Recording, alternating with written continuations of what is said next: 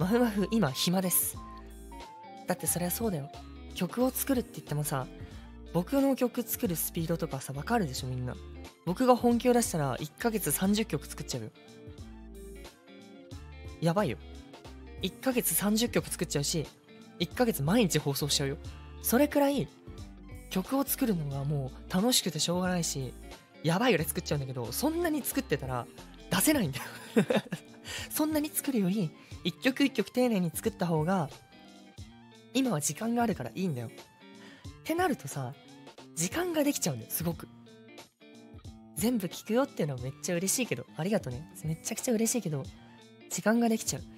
で時間ができちゃうんだけど今回、まあ、例えばさソラマフの定期配信っていうのが始まったりさ、まあ、それもソラルさんが協力をしてくれたんだけどさあのー、毎週何か決まったやることをしたい。ってソラルさんに言って。したらあえじゃあ一緒に定期放送とかする？って。あえやりましょうやりましょうって。